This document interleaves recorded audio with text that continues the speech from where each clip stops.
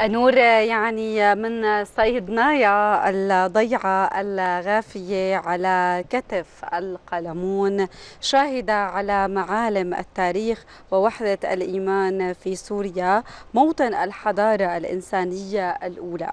اليوم ترتفع الصلوات وتقرع أجراس الكنائس احتفالا بعيد تجلي الرب يسوع المسيح على جبل ثابور. وللحديث بشكل موسع عن معاني العيد اليوم بصرنا نرحب بصباحنا غير بالإشمندريت رئيس ديري القديس جاورشيوس ودير الشيروبيم الإشمندريت يوحنا التلي. كل عام وانت بخير وأهلا يعني نحن ضيوفكم ولكن نحن نرحب فيك بصباحنا غير أهلا وسهلا فيك. شكرا كثير وأنتم بألف خير. أه. والوطن العربي كله بألف خير يسعد صباحك أبونا. بالبداية خلينا نحكي أهمية منطقة صيدنايا خلينا نحكي عن البعد التاريخي والديني لهالمنطقة. نعم. صيدنايا عريقة وما معروف البدء تبعها. إنما بعض الأبحاث بتعيد من خلال شواهد وقصص إذا اعتبرنا أن الحجارة تتكلم فلغة الحجارة تدل على أن لها وجود من العصر الحجري. إنما الأهمية هي آه، ما قبل الميلاد ببضع مئات السنين كانت آه، بلدة أو مكان اللغة التي تحكى كانت الآرامية. وفي دلائل بتدل على أنه في وجود بشري من خلال آه، بعض المعابد الوثنية والقلاع. ليش ليكون في قلعة للحماية وما يكون في ناس؟ ليش ليكون في معبد وما يكون؟ إذا في دلائل غير مثبتة إنما بيشوفها الإنسان بعيون عقله.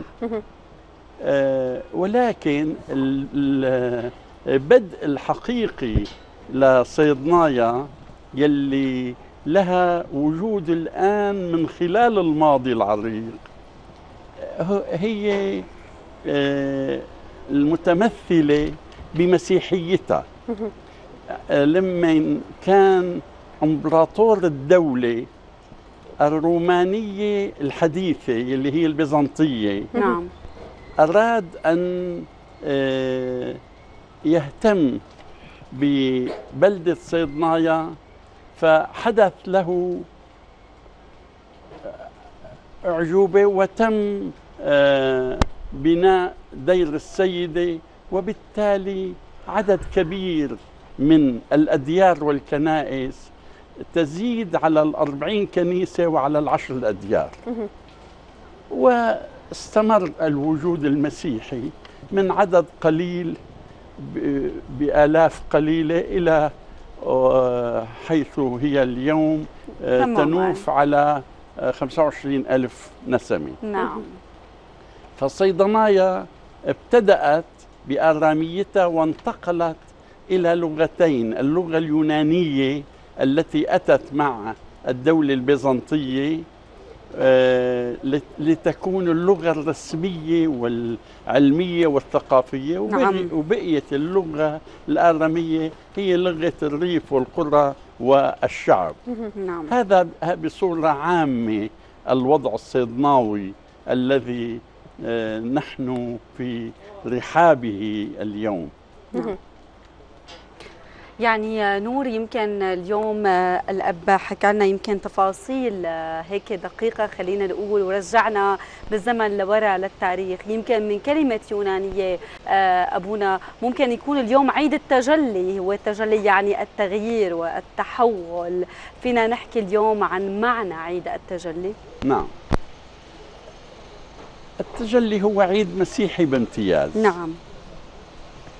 وهذا العيد حدث فيه أن السيد المسيح أراد أن يعطي درس من خلال واقع آه، شكله الحياتي تغير واختار أن يكون قبل الصلب قبل الصليب بأربعين يوم. فمرتبط هذا العيد بعيد الصليب الذي سيأتي في أيلول. بعد بضعة أسابيع. فالحدث الذي جرى أن يسوع المسيح استحضر شخصيتين من العهد القديم بيمثلوا الناموس والشريعة وشخصيتين آه، وثلاث أشخاص من تلاميذه كانوا حاضرين. مرقس فالوضع هو بدنا نعتبر حالنا مدرسة. نعم. وأن يسوع بتغيره بتحوله أراد أن يعطينا أن التغير ليس هو بالشكل الخارجي أها. إنما هو تغير داخلي على الإنسان. إذا أراد حقا أن يتغير فيجب عليه أن يتغير من عقله وروحه وفكره وذهنه وكيانه بكامله. نعم. على هذه الصورة نفهم ماذا أراد يسوع أن يلقننا درس في التغير. فأتى تلميذه أو أحد دعاته بولس الرسول وأعطانا مختصر لكل شيء وقال تغيروا عن شاكلتكم. تغير فالمسيحية تقوم على هذا المبدأ على هذا المنطلق أن يرضى الإنسان بالتغير وبدون التغير لن يصل إلى السيد المسيح والسيد المسيح هو الحضرة أو المكان نعم. الذي نعيشه معه من خلال تغيرنا وبدون تغيرنا صحيح. لن نصل إليه. صحيح. أبونا خلينا نحكي عن أهمية عيد التجلي اليوم في مسيرة الإيمان المسيحي. آه، اليوم يعني عم عم نتمسك بالشكل الخارجي. أكثر ما عم نتمسك بالشكل الداخلي. الاحتفالات وال... ال- نعم. فانتقل من نمط في الحياة إلى بعد اجتماعي. البعد الاجتماعي دائما آه، بيبقى فيه آه، مظاهر برراقة نعم. فعلى رأس هذه المظاهر هي الألعاب النارية. واليوم للأسف وبعد آه، الحرب الطاحنة اللي أنهكت سوريا ولا تزال تنهكها نعم. بعض الناس آه، بالغوا بالتعبير عن آه، أسلوب أو طريق البهجة ب آه، إطلاق الاعيار إطلاق النارية. النارية. صحيح. نعم. للأسف رافقت رافقت ال- الألعاب النارية. فزادتها بهجة عند البعض ولكن زادتها إحساس بأنه نحن ابتعدنا عن حقيقة التجلي. نعم.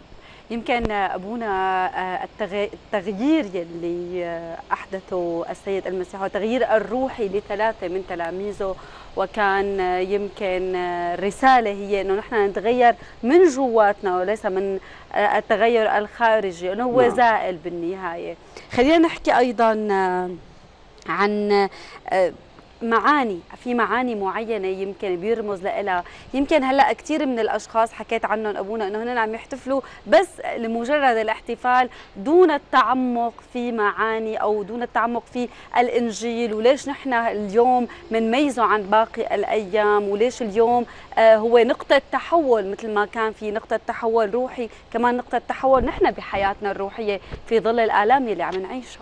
نعم. آه الشيء الأساس يلي علينا أن نربط دائما آه معاني عطاءات السيد المسيح إلنا هي أنه نقدر ننقل نمط حياتنا إلى التعليم الآتي من السيد المسيح نعم فهذا الربط بإنه آه، نحن نقدم للمسيح ما نحيا وما نعيش نعم. وهو يعطينا الجواب لطريقة الحياة التي من خلالها نعرف كيف نحيا ونعيش. نعم. هذا هو الذي تم بطريقة التبدل والتغير.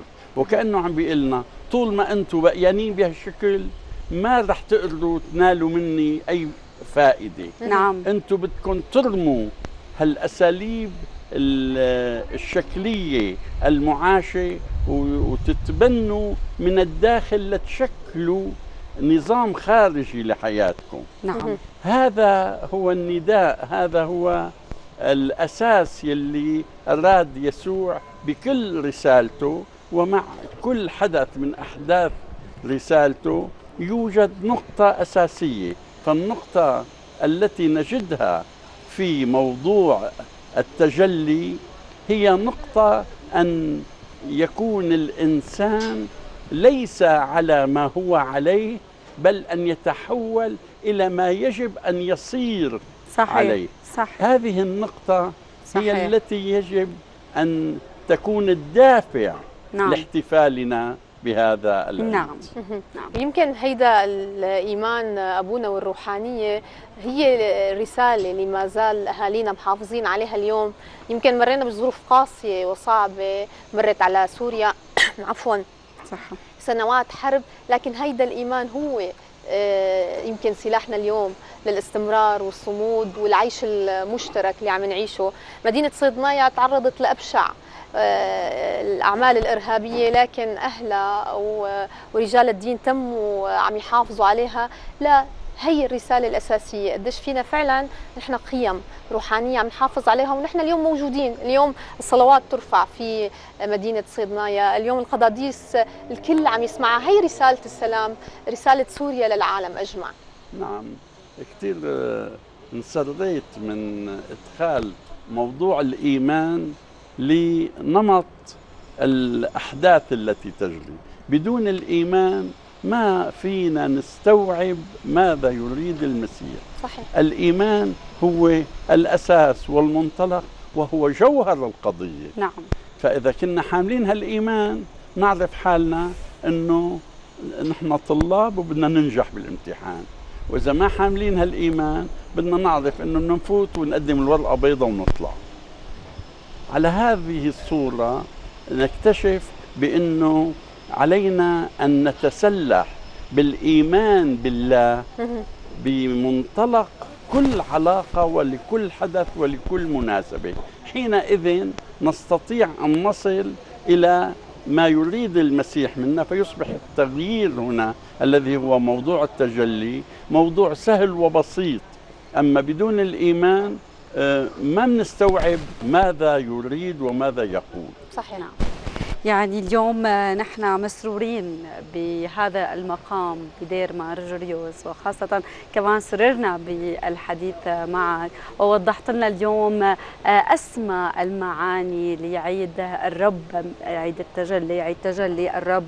وهذا التحول الروحي اللي لازم نحن كلنا نمشي على خطاه ونتغير روحيا بحاجة نحن لكسر بيقولوا كسروا روتين. أيضا نحن نكسر الروتين من جوا. جواتنا فبنتحرر من برا. شكرا لك كثير الاشمندريت رئيس ديري الشيروبين ودير ماجوريوس الأب يوحنا التلي. شكرا. شكرا. ممكن نضيف خاتمه تفضل تفضل. تفضل. آه هذا التغير المرتبط بالحياة الروحية ليس فقط من أجل الحياة بل أيضا لكل نواحي حياتنا. نعم. صحيح. ونحن مثل ما تفضلتي وقلتي إنه نحن طالعين من محنة هلا من يلي صحيح.